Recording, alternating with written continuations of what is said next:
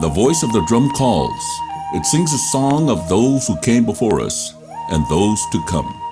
A song of survival and strength. A song of participation and voice. A song that calls us together. When we come together and participate in the 2010 census, we use this tool as the voice of all our Native people. Our voice. It is in our hands. 2010 census.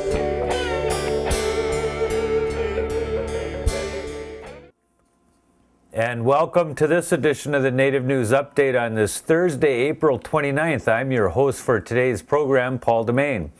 Many of the stories read here can also be found at our website at IndianCountryNews.com.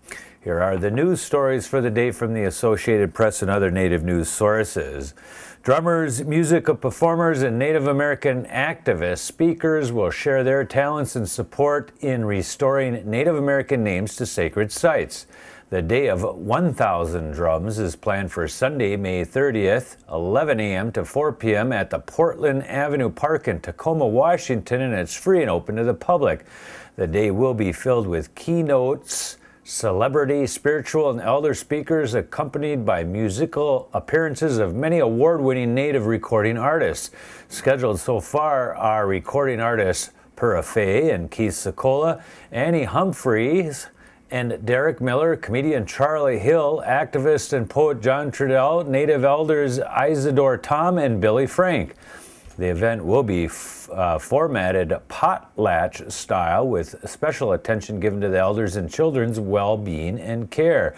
The Day of 1000 Drums event will focus primarily on Mount Rainier, a name chosen by explorer Captain George Vancouver to honor a British admiral. For thousands of years, the mountain was known as uh, Tiswak, Tekobet, and Tacoma by the various indigenous communities and language groups fed by the mount, many mountains, many, many glaciers. Okay, for more information, you can go res- to restorenativenames.org.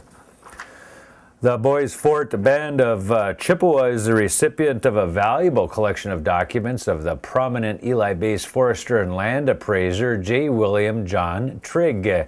When Trygg passed away in 1971, he left an exhaustive, exhaustive record of his surveys in northeastern Minnesota forests spanning the 1920s and the 1960s. He also collected tens of thousands of pages of field notes and maps left by other 19th century land surveyors. In the 1960s, Trygg's mastery of land surveys was called upon to substantiate claims by Indian tribes that they had not been fairly paid for lands they ceded to the U.S. government in the 1880s. It resulted in greater compensation to Indians for their lands. During April, Trygg's daughter in law, Louise, presented a copy of his vast archive to the Bois Forte Heritage and Cultural Museum on Lake Vermilion, Minnesota. Executive Director Rose Barron says it will be valuable in helping future generations reconstruct the area's history. Five men want to be the next president of the Navajo Nation. Donald Benally, current vice president of the nation's Shiprock chapter, filled out his paperwork in the Window Rock, Arizona capital of the nation. Rex Lee, Jim, a council delegate from Rock Point, Arizona chapter, Bo- uh, also signed up and have both paid their $1,500 registration fee. Three others have picked up their paperwork but haven't paid the fee, which is due May 4th. They are Anthony Begay, Ben Shelly, the tribe's vice president, and Ivan Gamble. Benally was involved in the 1989 riot in Window Rock that resulted in two deaths and served 10 years in federal prison for his involvement before his release in 2003. Benally was cleared by the Navajo Nation Ethics and Rules Office to run for president because his last conviction was more than five years ago, according to his application to the Navajo Election Administration. The nation's next president will take the helm from Joe Shirley Jr. and stands to inherit a 55% rate of unemployment on the nation, one of the highest ever for the United States and the Navajo Nation itself. Tribes in the Dakotas are getting grants from the Shaka Shakopee Mdewakanton Sioux Community. United Tribes Technical College in Bismarck, which is run by North Dakota Tribes, is getting a $1 million grant for a math, science, and technology facility. The money is contingent on the school getting an equal amount of money from other sources.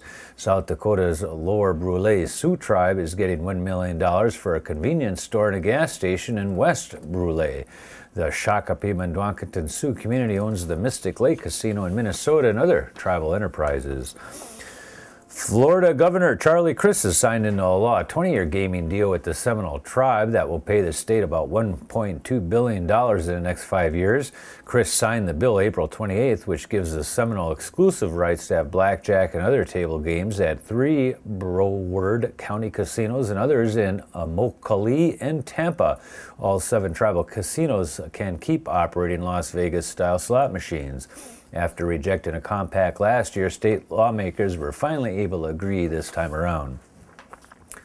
Opponents of a proposed nickel and copper mine in a remote section of uh, Michigan's Upper Peninsula are planning protests after an activist was arrested at the site recently. The Mining Journal of Marquette says members of the Keweenaw Bay Indian community have camped at the outcrop in Marquette County called Eagle Rock since last week. Kennecott Eagle Minerals uh, Company plans to start building its mine near the spot this year. Tribal members say Eagle Rock is a sacred place where they have conducted pilgrimages for years. Cynthia Pryor is a leader of the environmental group called the Yellow Dog Watershed Preserve. She was charged with trespassing last week and spent two nights in jail after refusing to leave the area. About 70 people met recently to discuss protest strategies. Assistant uh, Secretary of the Interior for Indian Affairs Larry Echo Hawk announced that savings in the Indian Affairs American Recovery and Reinvestment Act construction projects will be used to start four additional high priority school projects in Arizona, New Mexico, and South Dakota. Favorable pricing and aggressive management of the Recovery Act. Uh, at large construction projects have resulted in savings of $33 million, or 11% of the Indian Affairs construction allocation under the Act. Indian Affairs will use those savings to undertake the four school construction projects, putting more people to work in ways that will also make critical enhancements to benefit students in Indian country in general. The additional projects in, uh, include the Kaibeto School Replacement Project in Arizona for the Navajo, St. Francis Indian School Gymnasium Construction Project in South Dakota, Santa Fe Indian School Gymnasium Construction Project in New Mexico, and the Shonto Boarding School Gymnasium Construction Project in Arizona as well for the Navajo Nation. Tribal leaders canceled a meeting planned in St. Paul to discuss hunting, fishing, and gathering rights that the Leech Lake and other bands are seeking across northern Minnesota. Leech Lake Chairman Arthur LaRose says in a letter to the Department of Natural Resources Commissioner Mark Holsten that the meeting would be premature. LaRose says he first wants to develop a common approach with the White Earth Chippewa Band over affirming rights that the bands believe were reserved in an 1855 treaty. Some Leech Lake uh, legal officials had said previously that members of the two Chippewa bands would fish on Lake Bemidji a day before the opening of Minnesota's walleye season this year on May 15th. Tribal leaders later urged that there be no protest and said they were working on a diplomatic solution. And that is the latest roundup of news from Indian Country on this edition of the Native News Update. We want to thank you for coming and viewing this news program once again. Miigwech.